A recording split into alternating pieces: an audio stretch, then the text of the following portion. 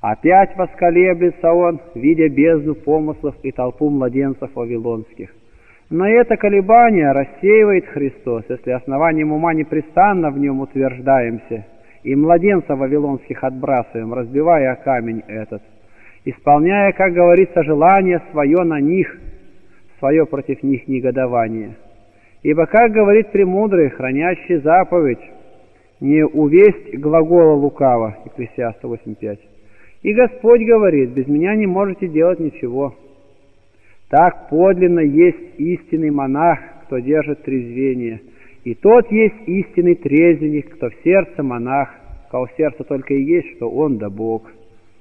160. Жизнь человеческая простирается вперед с чередованием годов, месяцев, недель, дней и ночей, часов и минут. Вместе с ними надлежало бы и нам до самого исхода простирать вперед к совершенству добродетельные дела, делания, разумея трезвение, молитву, сладость сердечную при неослабном безмолвии. Найдет, наконец, и на нас час смертный. Придет, и избежать его нельзя – и о, если бы воздушный князь мира, пришедший тогда, нашел беззаконие наши малыми и ничтожными, чтобы не мог справедливо обличить нас. Иначе восплатимся тогда, хотя уже бесполезно. Ибо раб, как говорит Господь, знавший волю господина своего и не делавший бит, будет много. Горе погубившим сердце, и что сотворят они, когда посетит Господь? Сирах 2.14 Возьмемся же, братья, поревностнее за дело сердца. За, за простыми и бесстрастными помыслами следуют страстные, как узнали мы из долговременного опыта и наблюдения. И первые служат входом для последних, бесстрастные для страстных. Воистину надлежит человеку надвое рассечь себя произволением, надо ему разодрать себя мудрейшим помышлением – Воистину, врагом самому себе непримиримым подобает стать ему. Какое кто имеет расположение к человеку, крайне его оскорбившему и обидевшему, такое же или еще худшее должны мы иметь и к самим себе, если хотим исполнить величайшую и первейшую заповедь, то есть блаженное смирение, Христово жительство, воплощенную жизнь Бога. Посему апостол говорит, кто избавит меня от всего тела смерти, ибо закону Божию не покоряется показывая, что покорять тело под волю Божию есть одно из лежащих на нас дел, сказал, «Если бы судили себя, то не были бы осуждены. Будучи же судимы от Господа, наказываемся». 165. Начало плодоносит свет, а начало трезвения ума – воздержание в пище и питьи, отвержение и отсечение всяких помыслов и сердечное безмолвие – когда, возмогая о Христе Иисусе, начнем мы тещи в трезвении, твердо установившимся, тогда сперва является нам в уме как бы светильник какой, держимый нами рукой ума и руководящий нас на стези мысленная. Потом, как бы луна в полном свете, вращающаяся на тверди сердечной. Наконец, как солнце, и Иисус, подобно солнцу, сияющий правдою, то есть показующий себя самого и свои всесветлые светы созерцаний. Это-то таинственно открывает он уму с непрерывным рвением, хранящему заповедь его, которая говорит «Обрежьте жестокосердие ваше» Второзаконие 10.16. Да, дивным истинам, как уже сказано, научает человека тщательное трезвение. Божество нелицеприятно. Почему Господь говорит «Слышите меня и разумеете»? Жебоим, что кто имеет, дастся ему и преизбудет ему, а кто не имеет, у того и отнимется то, что есть. И еще, любящим Бога все поспешествует ко благу. Не тем ли паче к этому поспешествует им сия добродетель, трезвение и молитва? Не двинется вперед корабль без воды, не преуспеет нисколько и хранение ума без трезвения со смирением и молитвой Иисус Христовою. Основание дома – камни, а сей добродетели хранение ума и основание и кровля – святое и поклоняемое имя Господа нашего Иисуса Христа. Скоро и легко потерпит кораблекрушение во время бури неразумный кормчий, который корабленников распустит, Весла и паруса бросит в море, а сам ляжет спать. Но еще скорее потоплена будет бесами душа, которая при начинающихся прилогах вознеродит отрезвение о призывании имени Иисуса Христова. 170. Мы, что знаем, передаем через Писание, и что видели, проходя путем, о том свидетельствуем желающим, если захотите принять сказанное вам. Вот сам Господь сказал, кто во мне не прибудет, извергнется вон, как ветвь засохшая, их собирают и в огонь бросают, и они сгорают. А кто прибудет на мне, и я в нем, тот приносит много плода. Как невозможно солнцу сиять без света, так невозможно сердцу очистить от скверны пагубных помыслов без молитвы именем Иисусовым. Если это истина, как вижу на опыте, то будем возглашать это имя так же часто, как дышим, ибо оно свет, а те помыслы скверная тьма, и Он, призываемый Иисус, есть Бог и Владыка, а те слуги демонские. Хранение ума пристойно и достойно именоваться светородным, молниеродным, светоиспускательным и огненосным. Ибо истинно сказать, оно одно превосходнее самых великих телесных добродетелей, сколько бы их ни имел кто. Всего-то ради надлежит называть эту добродетель самыми почетными именами ради рождающихся из нее светозарных светов. Возлюбившие ее из грешников непотребных, скверных, невежд, несмысленных, неправедных, делаются силой Иисус Христовой праведными, благопотребными, чистыми, святыми и разумными. И не только это, но и начинает созерцать таинство и богословствовать. Сделавшись созерцателями, они переселяются к оному пречистому беспредельному свету, прикасаются к нему неизреченными прикосновениями, с ним живут и действуют, поскольку вкусили, как благ Господь. Так что на этих первоангелах явно исполняется слово божественного Давида. Более праведное исповедуется имени Твоему, и селятся правые с лицом Твоим. 139.14. И действительно, они только одни истиной призывают Бога, исповедуются Ему, и с Ним беседовать всегда любят, любя Его. 172. Горе внутреннему от внешнего, ибо внутренний человек много терпит от внешних чувств. Но потерпев что-либо, он должен употребить бичи против этих внешних чувств. Сделавший то, что следует по букве, уже уразумел и то, что следует по умозрению. Если внутренний наш человек трезвится, то, по словам отцов, он силен сохранить и внешнего. По их же словам, мы и злодеи, демоны обои, сообща совершаем грехи. Все в помыслах или мечтательных живописях изображают только перед умом грехи, как хотят. А мы и помыслами внутренне, и делами внешне грешим. Демоны, не имея тел дебелых, лишь помыслами, кознями и обольщениями и себе и нам уготовляет муку. Но если бы эти непотребнейшие не были лишены дебелого тела, то грешили бы непрестанно и делами, всегда содержа в себе злое произволение, готовое нечествовать. Но молитва сердечная ко Господу разбивает их и в прах обращает прещение их. Ибо непрестанно и неленостно призываемый нами Иисус, Бог и Сын Божий, отнюдь не допускает им даже и начать вложение в нас греха, что называют прилогом, не допускает ни образ какой-либо показать уму в зеркале мысли, не проговорить какие-либо слова сердцу. Но если никакой образ не стеснится в сердце, то оно и от помыслов, как мы сказали, будет пусто.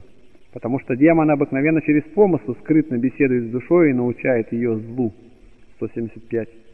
Итак, от непрестанной молитвы мысленной в нас Воздух чист бывает от мрачных облаков и ветров духов злобы. Когда же воздух сердца чист, то ничто не препятствует уже сиять в нем божественному свету Иисусову, если только мы не надымаемся тщеславием, самомнением и хвастливым себя выказыванием, не понесемся к недосягаемому и не будем зато лишены помощи Иисусовой, потому что Христос ненавидит все такое, будучи образцом смирения. Емлемся же за молитву и смирение сии два оружия, которыми совокупно с трезвением, как мечом огненным, ополчаются мысленные воители против демонов. Если так будем вести жизнь свою, то каждый день и час можем таинственно, радостно иметь праздник в сердце.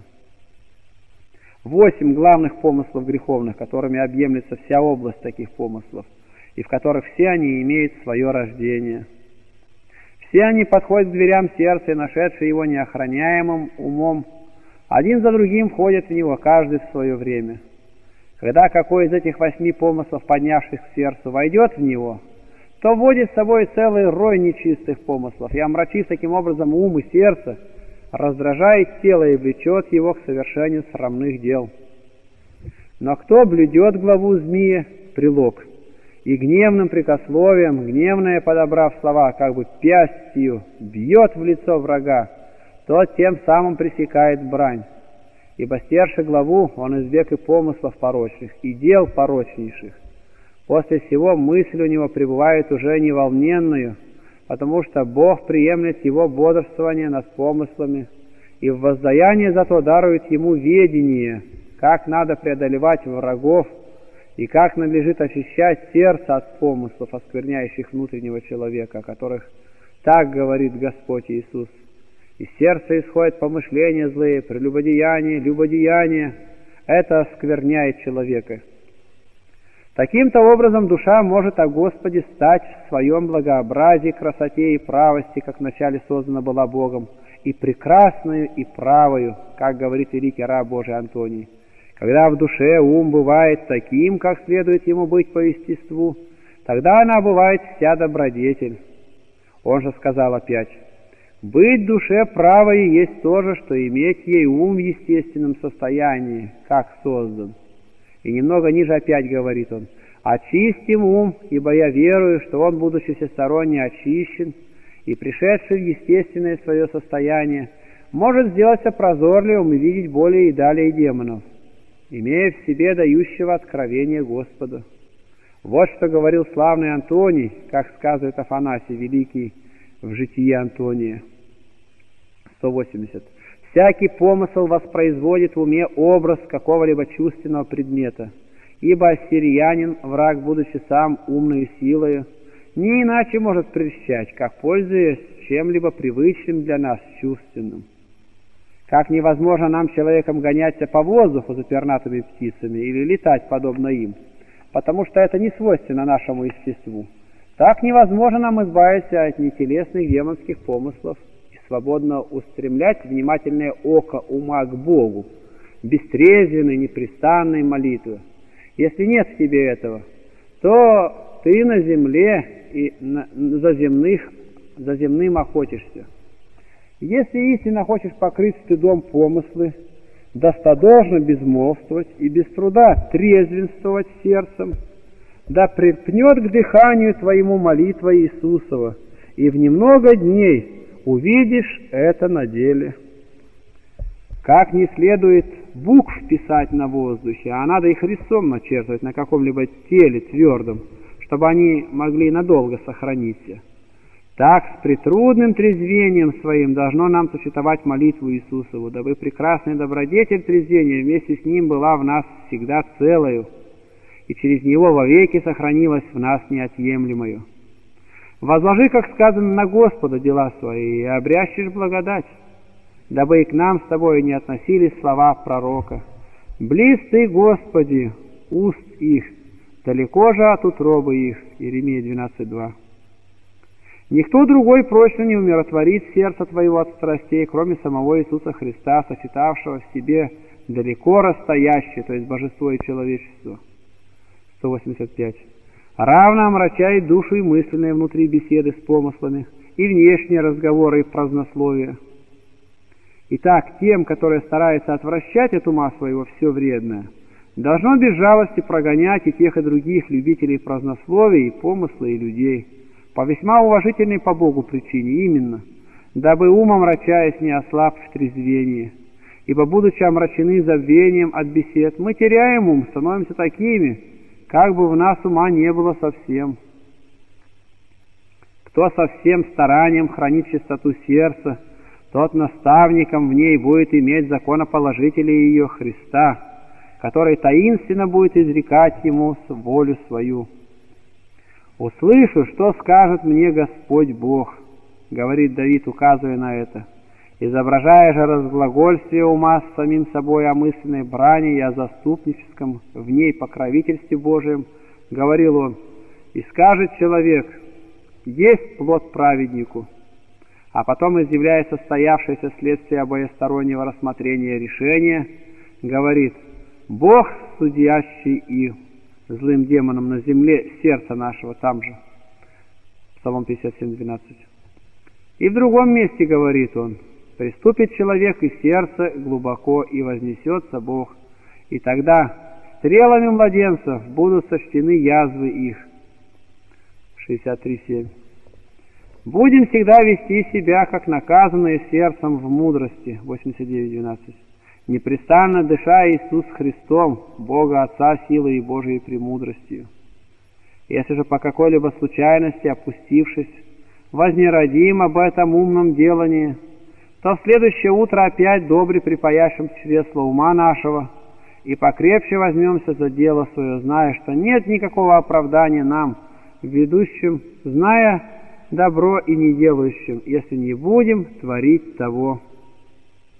Как если, когда вредоносные яства, недавно принятые, произведут в теле болезненную тревогу, вкусивший их, лишь только почувствует этот вред, поспешит извергнуть их вон, то остается невредимым, так и ум, когда поглотив принятые им порочные помыслы и почувствовав душевредную горечь их, поспешит молитву Иисуса из глубин сердца возглашаемую, извернуть их вон и далеко отбросить их от себя, то через это избежит всякого от них вреда, как по милости Божией научения от других, и вместе с ним собственный опыт предали трезвенствующим разуметь настоящее дело. С дыханием Твоим соедини трезвение и имя Иисусова или помышление о смерти и смирении, ибо то и другое великую доставляет пользу. 190. Господь сказал, научитесь от меня, ибо я кроток и смирен сердцем. Сказал еще Господь, смирился, как отрок сей, тот больше будет в Царстве Небесном. Возносящий же да будет унижен. От меня, говорит, научитесь. И видишь ли, чему научиться? Смирению. Заповедь его – жизнь вечная есть, и сия заповедь есть смирение. Следовательно, кто не смирен, тот отпал от жизни, и, конечно, найдется там, что противоположно ему. Если всякая добродетель творится душой и телом, душа же и тело, которыми, как я сказал, совершается всякая добродетель, суть творения Божия – то не крайне ли сумасбродствуем мы, когда величаемся, тщеславимся чуждыми украшениями души и тела? И не тем ли это более, что, опираясь на гордость, как на тростниковую трость, мы восстановляем против себя беспредельного величием Бога, таким крайним беззаконием своим и безумием, привлекая на голову свое страшнейшее его неблаговоление, ибо Господь гордым противится, Вместо того, чтобы подражать Господу в смирении, мы своим тщеславным и гордостным мудрованием вступаем в содружество с неистовым врагом Господа, гордым дьяволом. Посему-то апостол говорит, что имеешь, что хвалишься, как будто не получил. Разве ты сам себя создал? Если же тело и душу, из которых, в которых и через которых всякая добродетель бывает, получил ты от Бога, то что хвалишься, как не получивший? Ибо Господь все это тебе даровал. Очищение сердца, через которое как смирение, так и всякое свыше сходящее благо имеется в нас, не что иное есть, как то, чтобы отнюдь не попускать прирожающимся помыслам входить в душу. Хранение ума с Божьей помощью ради единого Бога, действуемое, установившись в душе, доставляет уму мудрость, ведение подвигов по Богу, введение. Немалую также причастнику своему доставляет она способности к тому, что по Богу устроять и внешние дела и слова с рассуждением безукоризненным. 195. Отличительное в Ветхом Завете первосвященническое украшение, чистая золотая дощечка на груди с надписью «Святыни Господни», исход 28.36 была прообразованием сердечной чистоты, которая внушает нам внимать дощечки сердца нашего.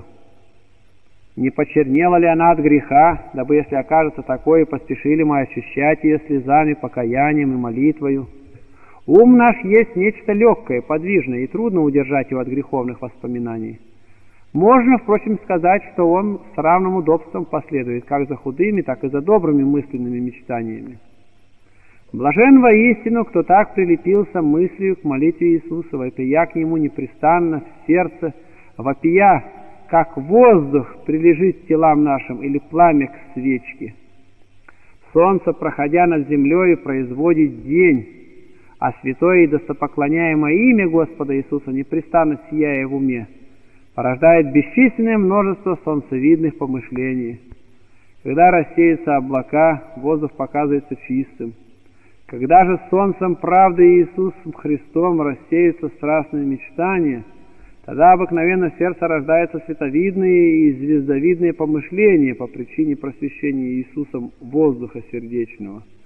Ибо премудрый говорит, надеющийся на Господа, уразумеет истину, и верные в любви прибудут Ему. Премудрость 3.9. Сказал некто из святых, злопамятствуя, злопамятствуй на бесов, и враждуя, враждуй на тело всегда. Плоть коварный друг, и, будучи довольствуема, сильнейшую поднимает брань. Еще враждуй против тела и воюй против чрева. В предыдущих главах, составляющих первую и вторую сотню, описали мы труды священного безмолвия ума, представляя не собственного только изыскания плотного и то, чему божественные глаголы богомудрых отцов учат нас относительно чистоты ума.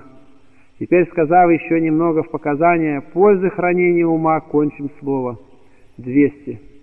Итак, приди, последуй за мной к достижению блаженного хранения ума, кто бы ты ни был, любящий в духе видеть дни благи.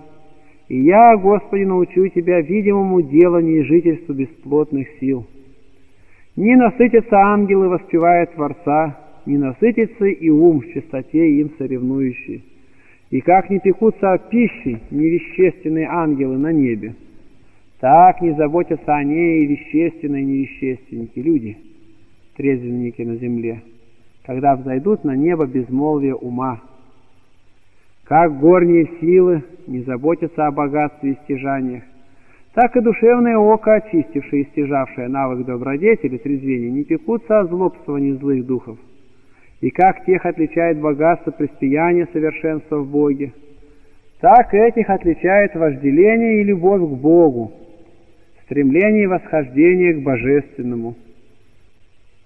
И они с ненасытимым вожделением от вкушения божественной, приводящей восхищение любви, простираясь в восхождение горе по степеням совершенства духовного, не остановятся, пока не достигнут уподобления Серафимам и не почиют от трезвения ума и вожделительного возвышения. Доколе не сделаются ангелами во Христе Иисусе Господе нашим, 202.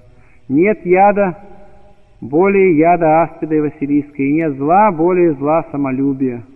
Исчадие же самолюбия эти змеи летающие, суть сии, самохваление в сердце, самоугодие, чрево неистовство, блуд, тщеславие, зависть и вершина всех зол гордость, которая не только людей, но и ангелов свергает с небес и вместо света покрывает мраком. 203. Сие написал тебе Феодулис, именник безмолвия, то есть Исихи, хотя не безмолвник, на, не безмолвник на деле. Может быть, я написал не все, относящееся к нашему предмету, но всячески то, что подал Бог во Отце, Сыне и Духе Святом, хвалимый и славимый от всего разумного естества, ангелов и человеков от всякой твари, созданной неизреченной Троицей, Богом единым – коего светлое царствие досподобимся получить и мы, молитвой Пресвятыми, Пресвятой Богородицы и преподобных Отец наших, Ему, Богу непостижимому, вечная слава. Аминь. Преподобный Нил Синайский, краткое сведение о нем. Преподобный Нил происходил из богатой и знатной фамилии, вероятно, еще тогда, как святой Златоуст был проповедником в Антиохии был слушателем и учеником его. Знатное происхождение и личные достоинства возвели его на степень префекта столицы. Но стремления его духа не согласовались с должными хлопотами и порядками жизни столичной. Почему, согласившись с супругой, с которой имел уже двух детей, оставил он мир, чтобы в уединении успешнее тещи путем спасения? Он взял с собой сына Феодула, поселился на Синае, а супруга его с дочерью нашли себе приют в одной из египетских женских обителей. В Синайской пустыне преподобный Нил жил крайне строго. Своими руками с сыном выкопали они себе пещеру, и, живя в ней, питались даже не хлебом, а дикими горькими растениями. Все же время проходило у них в молитве, изучении Писания, богомыслии и трудах. Оставя, однако, ж мир, преподобный Нил не оставил общения с людьми. Из всех мест и всякого рода лица обращались к нему со своими духовными нуждами. И никто не был оставляем без потребного вразумления и назидания. И царь писал к нему, прося молитву, и он писал к царю, укоряя его в несправедливости к святому Златоусту. Другие писания преподобного преимущества нравственного и аскетического содержания. Из всего им написанного видно, как обширны и глубоки были его познания, и как неутомим труд его в этом деле. Для испытания любви его к Богу было ему особое искушение. Напали на Синай и окрестные его области дикие варвары из Аравии. И все разграбили, многих побили, иных забрали в плен. В числе последних был Феодул, сын преподобного Нила. Беда эта была очень чувствительна для преподобного, и он не находил себе покоя, особенно когда на второй или третий день после общей беды принесена была к нему вещь, что сына его дикари положили принять жертву утренницы, звезде Венере, не утверждая, исполнено ли было такое определение. Но недолго попустил Бог томиться его родительскому сердцу. Скоро узнал он, что жертва не состоялась, и пленники распроданы в христианские страны. Поиски нашли его потом в городе Илузе, епископ которого купил его у варваров вместе с другими и готовил уже к служению церкви, которому был упрашиваем и отец, прибывший за ним. Любовь к пустынножитии не позволила ему согласиться на это, и епископ, посвятив их в священники, благословил им отойти на любимый Синай, где и прибыли они до конца жизни. Преподобный Нил оставил мир 390 году в пустыне Синайской прожил лет 60 и скончался около 450 года. Памятью 12 ноября и 13 января. Аскетические наставления преподобного Нила Синайского. Второй том добротолюбия, страница 205. Первое. Слово о молитве. Предисловие. Благовременно восставил ты меня, лежащего в жгучей горячке. Речь применяется к исцелению тещи Симоновой прикосновением руки Спасителя. В жгучей горячке нечистых страстей прикосновением боголюбивого письма твоего. И ум мой, недугающий самыми срамными недугами, ободрил утешением, блаженно подражая великому наставнику и учителю. И не дивно, долю твоей всегда было искать славного и знаменательного, как и благословенного Иакова. Почему, поработав хорошо ради Рахили и получив Лию, ищешь и возлюбленную, как и за нее исполнившись семилетия работы? А я не отрекаюсь сознаться, что, потрудившись всю ночь, ничего не поймал. Но по слову твоему ввергни сети, извлек множество рыб. Не думаю, что великих, однако же стоит пятьдесят три. И их-то посылаю к тебе в кошнице любви, и тем исполняю повеление Твое, составив равное тому число глав о молитве. Удивляюсь я Тебе и очень ублажаю прекрасное произволение Твое, что возжелал Ты не другое чего, а глав о молитве. И притом не просто возжелал, чтобы они руками на харте написаны были, но чтобы внедрены были в уме любови и незлобием Поскольку все сугубо едино против единого по слову премудрого Сираха 42.25, то не по букве только прими их, но и уразумей духом. За малочисленность глав не брони, как умеющий и насыщаться, и лишаться, Филиппийцам 4.12. Ей не брони, помни, что Господь не отверг и двух леп вдовицы, но принял их благосклоннее, чем богатые вклады многих других но более умея хранить в отношении к искренним братьям своим благорасположение и любовь, Молись о немоществующем, чтобы он стал здрав, и, взяв одр свой, начал ходить благодатью Христовою. Аминь. 153 главы о молитве. Если бы кто захотел приготовить благовонный фимиам, то ему надобно по закону сложить по равной части ливана чистого, касти, ониха и стакты. Исход 30-34. Это четверица добродетелей, воздержание, мужество, мудрость, правда. Когда они все в полном совершенстве и в равной силе присущи в душе, тогда не будет предан